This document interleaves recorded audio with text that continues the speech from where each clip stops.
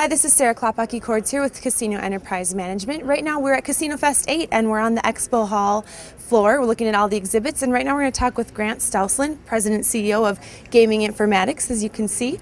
Um, Grant, wondering for the people who maybe they don't know yet, uh -huh. want to explain what you do, what you guys are all about? Sure. Gaming Informatics is uh, software for the highly regulated industry of, of gaming. We make uh, gaming that helps manage your slot floor. Um, it helps build compliance into what slot operators do every day in, in managing their slot floor. Uh, and it's also uh, software that uh, is relevant to both the regulators as well as the operations. Okay. And now there's a lot of different things that you do, but you're going to demo something sure. for us to give us yeah. a more specific look. Yeah, yep, sure. Uh, and, and, we're excited. In, in June, we had a soft opening of a new product called Iris Component Tracker. So what we've done is we've taken this large enterprise resource planning system that we've developed over the last six years, and we've broke it up into sections, kind of Lego pieces, if, if you will, um, to allow uh, you know users. Uh, you know, lots of different entry points, you know, both financially and, and in terms of commitment to their operation. So what we have here is, is Iris Component Tracker. Um, and you'll see here when you log in in the morning, you'll see a calendar.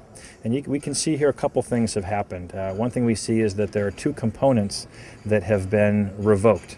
And Iris knows about this because we're synced with the independent testing labs, whether it be GLI or BMM or Eclipse. So we can get that data, you know, automatically every night at say two in the morning, so that users know very much real time or almost real time um, if any component on their floor is revoked.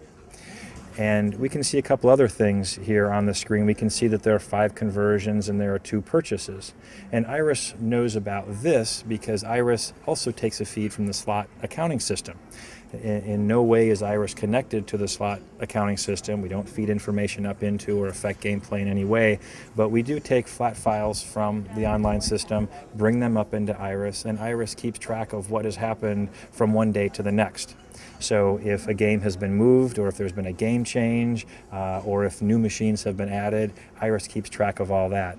So for example, over here, we can see additionally uh, in more detail that same information that's on the calendar. And we see down here, for example, that there are some, uh, we have two revoke components that are currently installed in our machines. And we can simply click here and we can go to that component. So now we see all of this component information, which is coming directly from the independent testing lab. So there's no data entry, there's no transposition of numbers or, or any kind of errors involved. It comes over clean, and you can see here that this revoke component is installed on this particular machine.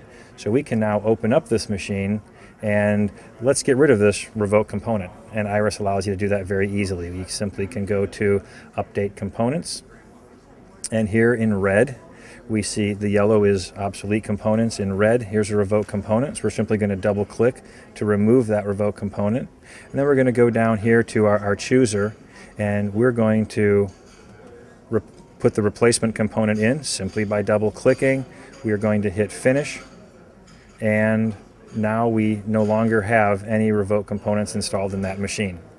So one thing that Iris does is, is, that it allows you to manage and maintain your components, and you can click down here, and you can now and you can also see a history of what used to be on this machine. Mm-hmm. So, for example, here's that revoke component that we just removed, and if I if I scroll over, it's we're going to be able to see that that component was removed on 8:30 by myself at this particular time.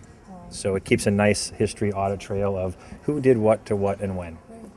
I think it's it really looks like a really user friendly system. I mm-hmm. mean, it looks, you know, like the calendar. I mean, just kind of familiar things that wouldn't be too intimidating to learn. Well, good. I'm glad you got that from it because that's what we're trying for here. We're, we're, we're me, so. well, thank you. We're trying to make it easy. Yep, yeah. yep. And, and and you can see here also that uh, game attachments, um, you know, an opportunity to go paperless, take those paper par sheets and attach those uh, par sheet PDFs, for example, to the game attachments. So any machine that that game is installed in, those par sheets can now follow. And it's the same with, with cabinet attachments. Um, there's nothing attached currently, but you could attach UL certifications or uh, you know user manuals or operators manuals. Um, again, you could attach uh, approval letters, um, meal books, photographs of uh, you know logic cage or something. So it's an opportunity. You know, it is a data ma- a, a document management system. Yeah. So the idea here is to allow you know slot floors and regulators to take all this fragmented information and get it in one system, in one screen. What else does it take you know, to use this? You know, do you have to invest in other things at your operation to make this usable? Nope, it's uh, it's it's pretty straightforward. You know, you can you can put it on an existing server, um, or you can have a, a standalone dedicated server for it. Um, it has very robust user and security roles as well. So you can have you know we have as many as 80 people in one operation that are using it at any given time. So you can you can choose who can see what and who can do what. Okay, So it's got nice robust user and security role feature to it. Well, thank you. I think that I could keep asking questions, but we better make the video wrap it up. So Well, we you. need to go fight about you know the Packers versus the Vikings because we've got a Minnesota Wisconsin thing happening here. So well, it was really nice. good. Thank you Yeah, for thank you giving much. us a little preview. And remember, Sure. you can find more videos from here at Casino Fest at casinoenterprisemanagement.com. Thanks for watching.